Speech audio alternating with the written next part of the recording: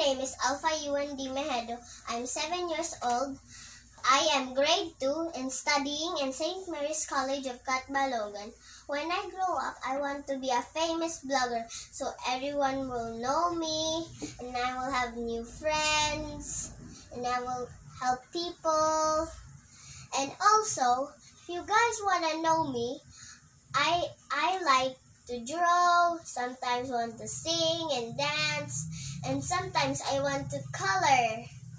And then I want to help people when when I eh, when I became famous because helping people is learning to be good.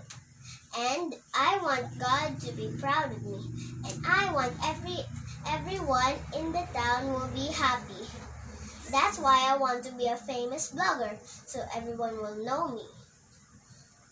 Know guys, you hear that, okay? I know that you already hear the other one that I say to you. So, don't go down and don't and don't give up. You know that guys, okay?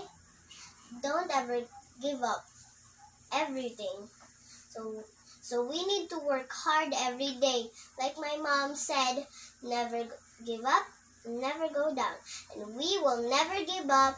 And that's why we want to be a great blogger or teacher every day.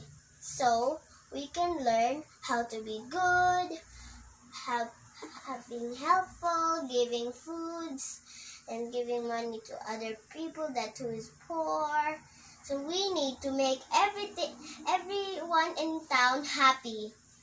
So we will have a rainbow in the sky and we will be happy. Bye!